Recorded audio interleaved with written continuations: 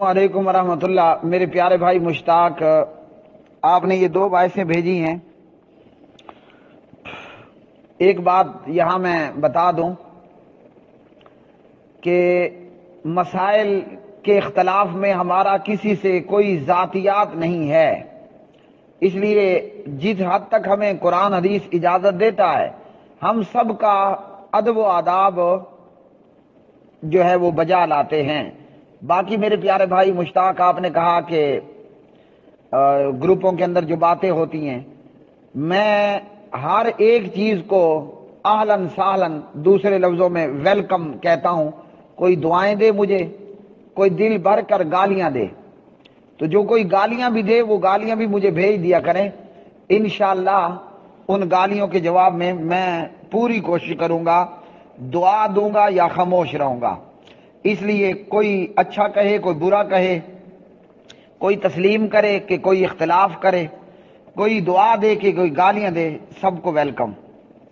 اب مقیم مفتی صاحب کی آپ نے یہ دو وائسیں بھیجی ہیں میرے اس جناب صاحب کی، بزرگ صاحب کی۔ تو ایک مہینوں نے ایمان کے حوالے سے بات کہی اور ایک مہینے نے پہلے تشود میں درود کے حوالے سے۔ دونوں کے میں جوابات دے چکا ہوں۔ الحمدللہ، ایمان اور عمل اس کے حوالے سے اور یہ کہ یہ کول و فیل کا مجموعہ ہے۔ کول اور فیل دونوں کا مجموعہ ہے۔ صرف دل سے تصدیق کر لینا یہ کافی نہیں ہے، بلکہ عمل کرنا بھی ساتھ میں ضروری ہے۔ تو کول اور فیل دونوں کا مجموعہ۔ ایک تو آپ کو اس میں اس سے پہلے جواب دے چکا ہوں۔ ایک اور جواب میں دے چکا تھا، لا الہ الا اللہ اور جنت۔ وہ تھے ابو بشرا بھائی، وہ بھی انڈیا سے ہی ہیں۔ ان کے سوال کے جواب پر۔ انشاءاللہ میں کوشش کر کے وہ سوال کا جواب بھی آپ کو سینڈ کر دیتا ہوں۔ تو دونوں جواب ان کے ہو چکے ہیں۔ میرے اس بزرگ نے، آپ کے مقیم مفتی صاحب نے، اس سے پہلے یہ کہا کہ ہم حنفی ہیں اور ابو حنیفہ صاحب رحمت اللہ علیہ کا یہ کول ہے۔ اس سوال کے جواب پر، ان کی اس بات کے جواب پر میں نے قرآن مجید کی ایک سے زیادہ آیات پڑھی اور نبی علیہ سلاۃ وسلام کی حدیث پڑھی۔ الحمدللہ، اس کا اثر یہ ہوا کہ مقیم مفتی صاحب ابو حنیفہ کو چھوڑ کر اب حدیث جبریل پر آ رہے ہیں اور حدیث ابیزر پر آ رہے ہیں اور حدیث بتا کے متعلق کہتے ہیں، اس پر آ رہے ہیں۔ تو یہ ایک بڑی اچھی اور خیر اندیش بات ہے۔ اور یہی اہل الحدیث کی کوشش ہوتی ہے کہ لوگوں کو کوفے سے ہٹا کر لوگوں کو بغداد سے ہٹا کر، دیوبند بریلی سے ہٹا کر لوگوں کا چہرہ مدینہ پاک، مدینہ طیبہ کی طرف لگا دیا جائے۔ عبادت کے لیے ایک اللہ کافی، آپ نے طواف کرنا ہے تو وہ پوری زمین پر صرف بیت اللہ کا ہے۔ کیا مطلب عبادت ایک اللہ سبحانہ و تعالی کی اور اسی طرح اطاعت وہ صرف ایک محمد الرسول اللہ صلی اللہ علیہ وسلم کی غیر مشروط. یہ آخری ورڈ کو یاد رکھنا مقیم مفتی صاحب بھی اور دیگر دنیا بھر میں جناب فیس بک واٹس ایپ اور یوٹیوب پر اس جواب کو سننے والے آپ تمام مسلمان بھائیوں بھی اور بہنوں بھی اور ماؤں بھی اور بیٹیوں بھی اور بابوں بھی. تو میرے پیارے بھائی، عبادت کے لیے ایک اللہ کافی اور اطاعت کے لیے ایک رسول، حضرت محمد الرسول اللہ صلی اللہ علیہ وسلم کافی۔ یہی ہماری کوشش ہوتی ہے۔ میرے بزرگ اس مقیم مفتی صاحب نے اپنی پہلی وائس کے اندر ابو حنیفہ کا حوالہ دیا۔ جواب میں قرآن آیا، نبی علیہ السلام کا حدیث کی حدیث آئی۔ تو مقیم مفتی صاحب ابو حنیفہ کو چھوڑ کر حدیث جبریل پر آئے۔ یہی ہماری بہت بڑی کامیابی ہے۔ اللہ کے بندو ہم یہی آپ سے کہتے ہیں، حدیث پر آؤ، قرآن کی آیات پر آؤ۔ ابو حنیفہ رحمت اللہ علیہ کا مقام بہت بڑا ہے۔ مجھ جیسا اگر اس کے جوتے بھی صاف کرنے کا ہمیں موقع مل جاتا یا یہ سعادت ہمیں مل جاتی، تو ہمارے لیے بہت بڑی سعادت کی بات تھی۔ ابو حنیفہ رحمت اللہ علیہ آل السنہ کے مسلمہ امام ہیں۔ ان کا درجہ مقام بہت بڑا ہے، لیکن وہ جتنے بھی بڑے ہو جائیں وہ میرے نبی، جناب اور آپ کے بھی نبی، جناب حضور نبی کریم صلی اللہ علیہ وسلم کی پرچھائی تک کو بھی نہیں پہنچ سکتے۔ سمجھے نا؟ یہ آپ کا بھی ماننا ہے، میرا بھی ماننا ہے، آپ کا بھی ایمان ہے، میرا بھی ایمان ہے۔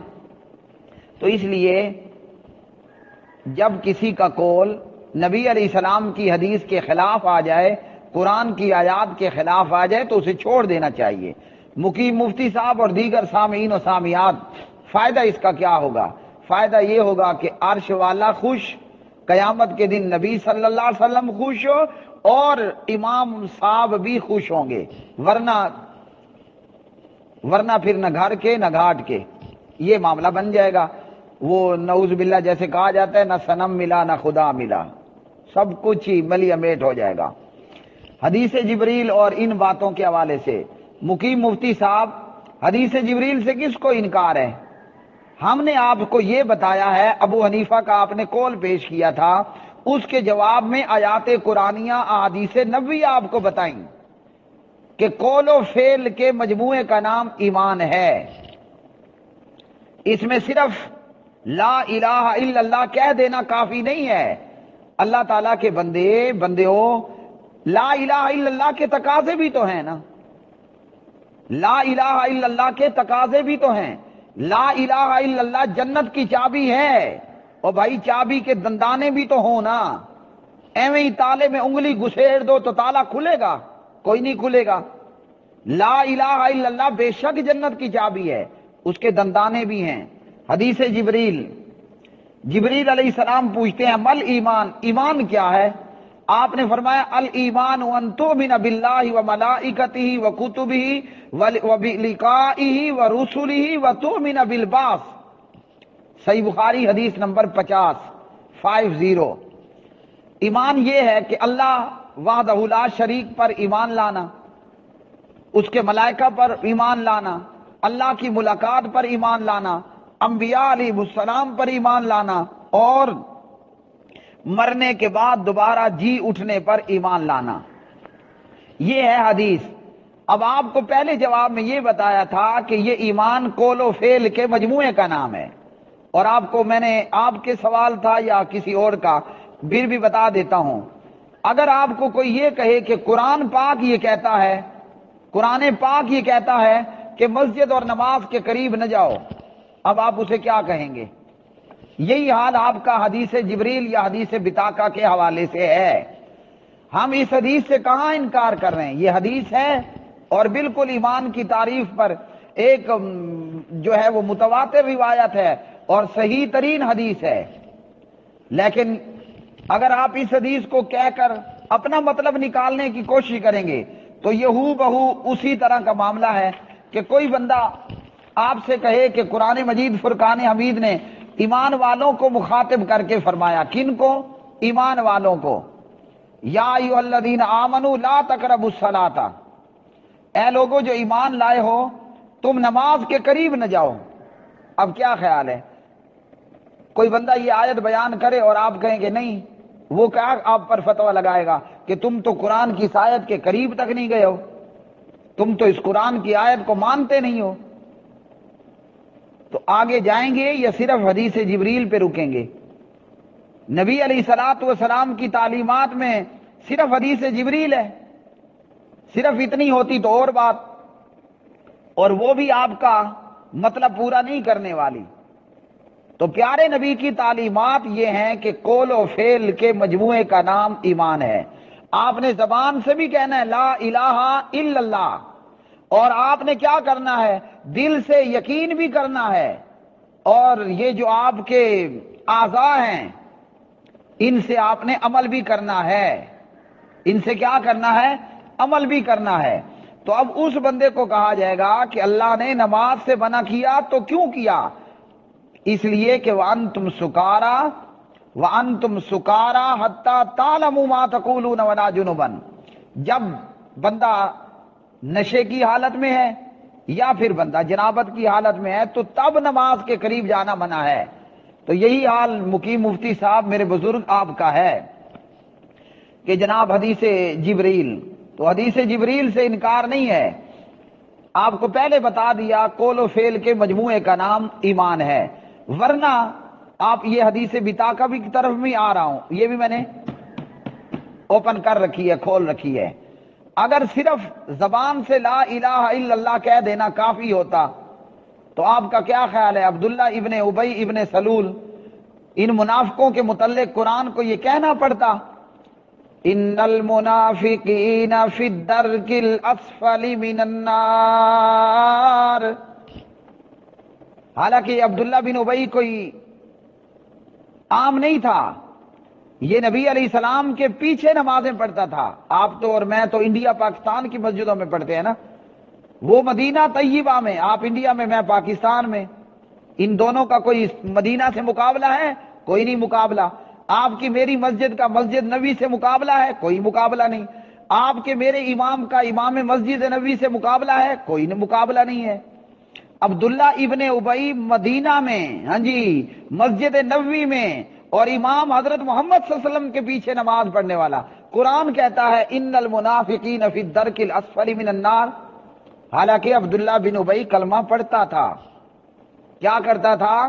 کلمہ پڑھتا تھا۔ اور منافقیں کے قتل کے متعلق۔ تو پھر یہ کہ لوگ کہیں گے کہ لو جی یہ تو اپنے کلمہ پڑھنے والوں کو بھی مارنے لگ گئے ہیں۔ تو کلمہ پڑھتا تھا نا لا الہ الا اللہ۔ لیکن اس کے دل میں کیا تھا؟ کھوٹ تھی اور اس کا عمل عمل کیا تھا؟ وہ عبداللہ ابن ابئی ابن سلول اپنے تین سو بندے لے کر کتنے؟ تین سو بندے لے کر میدان عہد سے فرار اختیار کرتا ہے۔ وہ لڑنے کے لیے نہیں جاتا۔ راستے سے، راستے میں ہی رک کر پلٹ جاتے ہیں۔ تو کیا خیال ہے؟ اللہ کے قرآن نے ان کے متعلق کیا کہا؟ نبی علیہ سلاط وسلام کی حدیث نے ان کے متعلق کیا کہا؟ کیوں قرآن نے کہا کہ یہ جہنم کے سب سے نچلے گڑے میں ہوں گے؟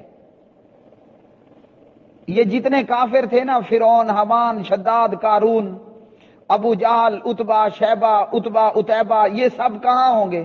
یہ عبداللہ ابن ابئی سے اوپر ہوں گے۔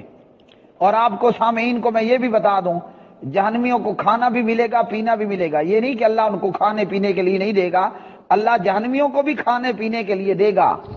لیکن وہ کیا ہوگا؟ گرم کھولتا ہوا پانی، خون اور پیپ، جو بھی ہے، ملتا رہا ہے نا کھانے کو۔ اب جو کھاتا ہے، وہ ٹٹی پیشاب بھی کرتا ہے۔ کیا خیال ہے؟ کرتا ہے نا۔ تو اوپر والا فرول والا اگر چٹی پیشاب کرے گا، نیچے کس کے منہ میں آ رہا ہوگا؟ عبداللہ ابن ابئی ابن سلول کے منہ میں۔ لوگوں، وہ کلمہ پڑھتا تھا۔ نبی علیہ سلاط و سلام نے اسے اپنا کرتا پہنا دیا۔ آپ نے اس کی نماز جنازہ پڑھا دی۔ منع کیا گیا، مگر آپ نے پڑھا دی۔ یہ اور بات ہے کہ آئندہ کے لیے منع ہوا۔ ہوا نا اس طرح سارا کچھ۔ تو کیا خیال ہے، وہ جنت جائے گا؟ اس کے لیے جنت ہے؟ جنت تو کجا وہ جہنم کے سب سے نچلے درجے میں ہوگا۔ کیوں؟ کول ہے، مگر فیل کا کھوٹا ہے۔ یہی آپ کو بتا رہا ہوں، مقیم مفتی صاحب، میرے بزرگ محترم، عبداللہ ابن ابئی ابن سلول کے پاس کول تھا، فیل نہیں تھا۔ اس کے دل میں یقین نہیں ہے۔ وہ عہد کے میدان سے پیچھے کھڑے ہو جاتا ہے۔ کہتا ہے، ادھر تو موت ہے بھائی۔ ہم ایک ہزار، وہ تین ہزار۔ وہ تو ہمیں گاجر مولی کی طرح کاٹ کے رکھ دیں گے۔ یہ تو نعوذ باللہ پاگل پن ہے کہ اپنے آپ کو تین ہزار کے سامنے پیش کر دینا۔ فیل نہیں تھا تو کیا ہوا؟ برباد ہوا نا؟ تو یہی ہم آپ کو سمجھا رہے ہیں۔ ایک حدیث جبریل سے آپ کا مسئلہ نہیں حل ہونے والا۔ نبی علیہ السلام کی تعلیمات میں ایمان کے متعلق کیا ہے؟ کول فیل کے متعلق کیا ہے؟ آئیے پھر قرآن سنیے۔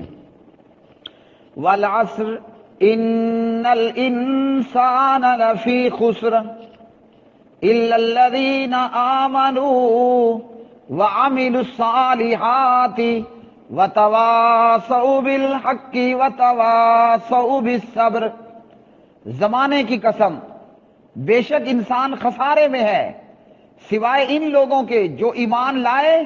اور ایمان کیا ہے؟ وہ حدیث جبریل بتا رہی ہے۔ جو ایمان لائے اور نیک عمل کیے۔ اب یہاں کیا بنتا ہے؟ ایمان پلس عمل۔ آ گیا نا؟ ایمان پلس عمل۔ وہ عمل آپ کے کول کا بھی ہے، وہ عمل آپ کے فیل کا بھی ہے۔ اچھا جی۔ انہوں نے نیک اعمال کیے اور ایک دوسرے کو حق کی تلقین کی اور ایک دوسرے کو صبر کی تلقین کی۔ تو کیا ہوا؟ پتہ چلا کہ کول و فیل ہے یا نہیں؟ اب آئیے میں آپ کو امور ایمان بیان کر دیتا ہوں۔ کہاں سے؟ کسی کے کول سے نہیں۔ سیدھا سیدھا اللہ کے قرآن سے۔ ایمان کے امور کیا ہیں؟ لیسل بر وجوہکم قبل المشرق والمغرب ولكن البر من آمن بالله واليوم الآخر والملائكة والنبيين والملائكة والكتاب والنبيين وآت المال على حبه ذوي القربى واليتامى والمساكين وابن السبيل والسائلين وفي الرقاب وأقام الصلاة وآت الزكاة والموفون بعهدهم إذا عاهدوا والصابرين في البعصاء والضراء وحين البعث. أولئك الذين صدقوا وأولئك هم المتقون. آپ یہ فتوہ نہیں لگا سکو گے کہ میں نے کسی امام کا کسی محدث کا کول پڑا۔ ایمان کے امور کا بیان یہ قرآن مجید کی آیات ہیں۔ کہاں پر ہیں؟ مکی مفتی صاحب سور الباقرہ پارہ دو، آیت ایک سو ستتر، ون سیونٹی سیون۔ ٹھیک ہے؟ ساری اچھائی مشرق و مغرب کی طرف منہ کر لینے ہی میں نہیں، بلکہ حقیقت کے اعتبار سے اچھا شخص وہ ہے جو اللہ تعالی پر، قیامت کے دن پر، فرشتوں پر کتاب اللہ پر، انبیاء پر ایمان رکھنے والا ہو اور مال سے محبت کرنے کے باوجود رشتہ داروں، یتیموں، مسکینوں، مسافروں اور سوال کرنے والوں کو دے، غلاموں کو آزاد کرے، نماز کی پابندی کرے، زکوٰۃ کی ادائیگی کرے، جب وعدہ کرے تو اسے پورا کرے۔ تنگ دستی، دکھ درد، لڑائی کے وقت صبر کرے۔ یہی لوگ سچے ہیں اور یہی پرہزگار ہیں۔ آگے سمجھ۔ اسی طرح قرآن مجید نے ایک اور مقام پر بھی فرمایا۔ اس کے لیے یہ میں ساتھ ساتھ قرآن پاک کھول رہا ہوں۔ یہ ہے پارہ نمبر اٹھارہ۔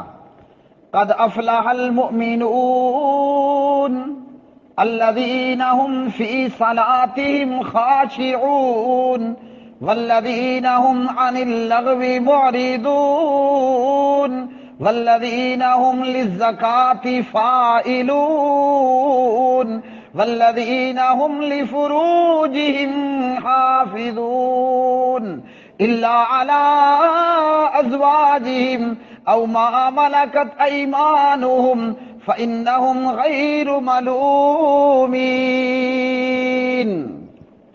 مشتاق بھائی، مکی مفتی صاحب، یہ ہے آل الحدیث۔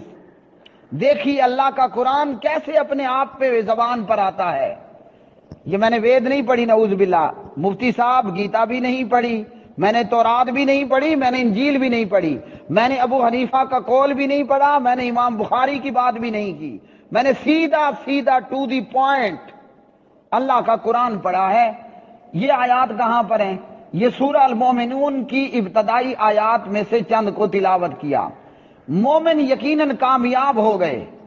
وہ جو اپنی نمازوں میں آجزی کرنے والے ہیں اور وہ جو بےحودہ باتوں سے ہٹنے والے ہیں اور وہ جو زکوٰۃ ادا کرنے والے ہیں اور وہ جو اپنی شرم گاہوں کی حفاظت کرنے والے ہیں، سوائے اپنے بیویوں یا اپنی کنیزوں کے جن کے مالک ہوئے۔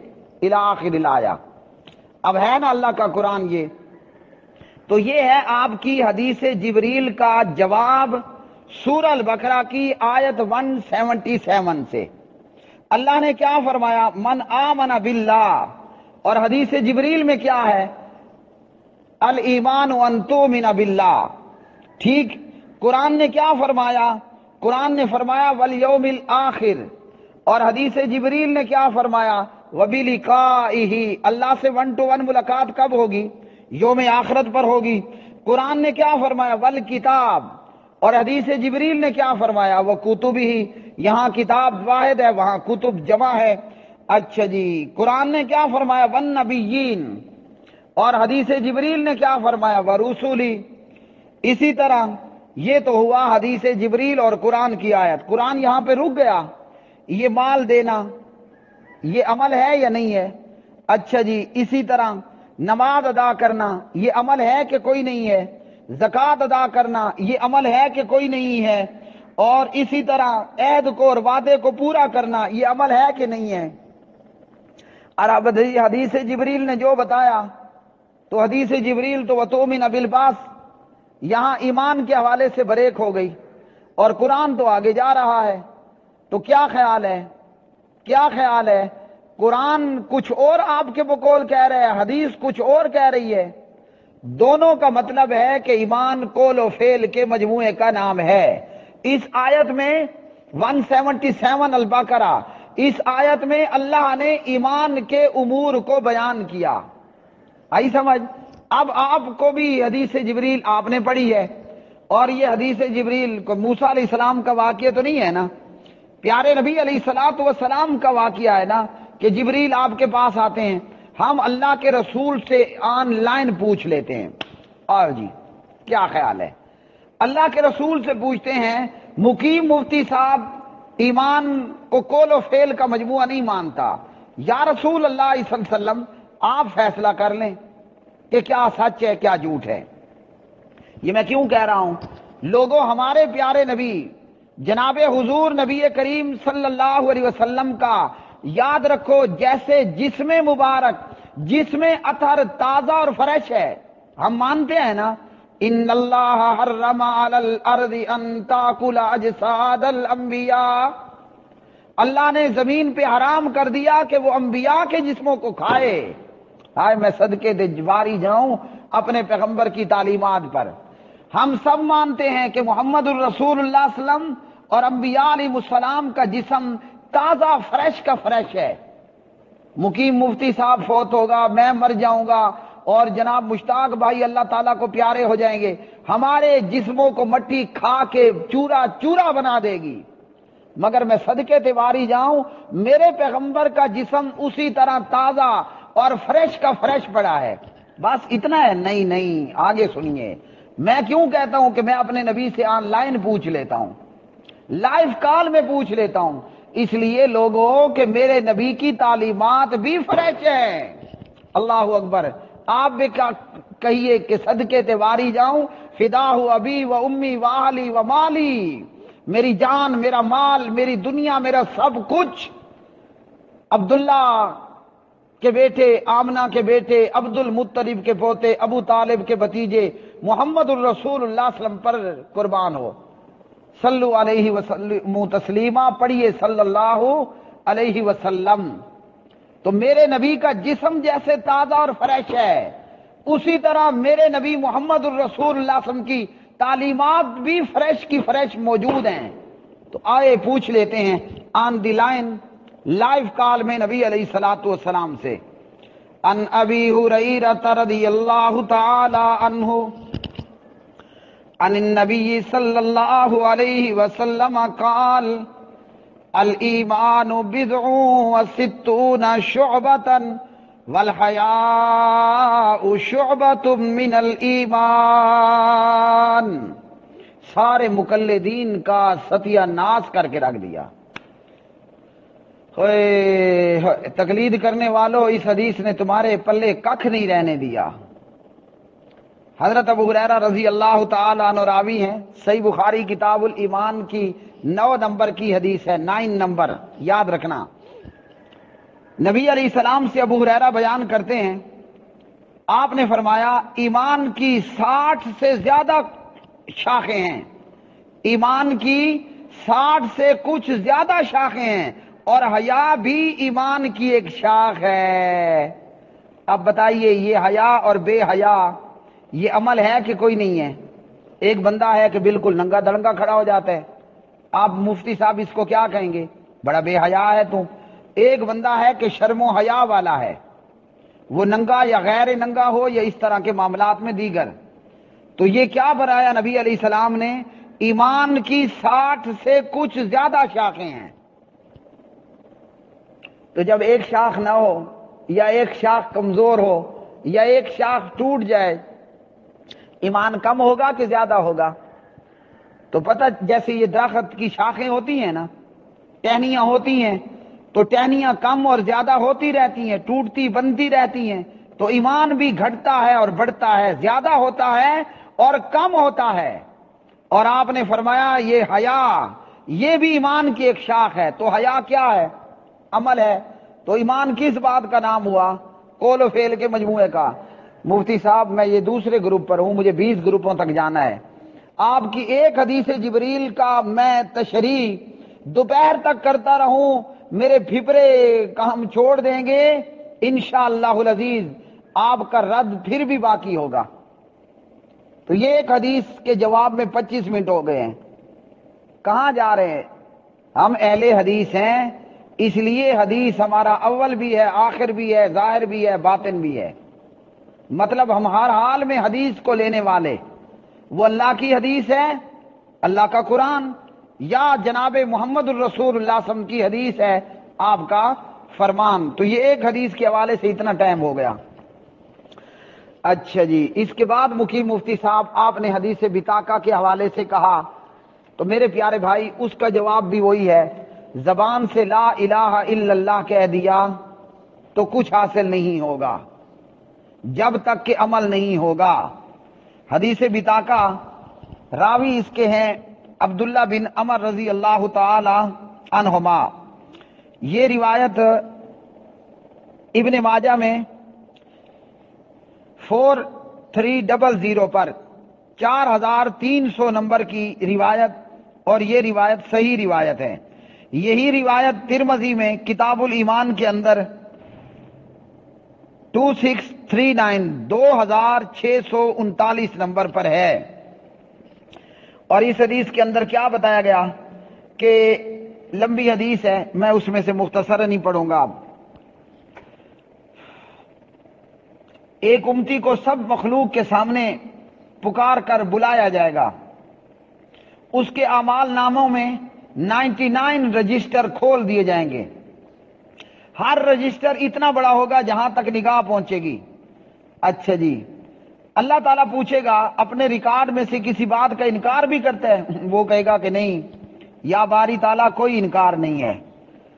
اچھا جی۔ پھر اسی طرح یہ ہوگا کہ گناہ ہی گناہ ہوں گے اس کے امال ناموں میں۔ اس کے جو رجسٹر گناہوں سے بھرے ہوئے ہوں گے۔ لیکن ایک پرچی، ایک بتا کے چھوٹے سے کاغذ پر وہ پرزا لایا جائے گا، کاغذ کا ٹکڑا لایا جائے گا، اس میں اشہد اللہ الہ الا اللہ ان محمد رسول لکھا ہوا ہوگا۔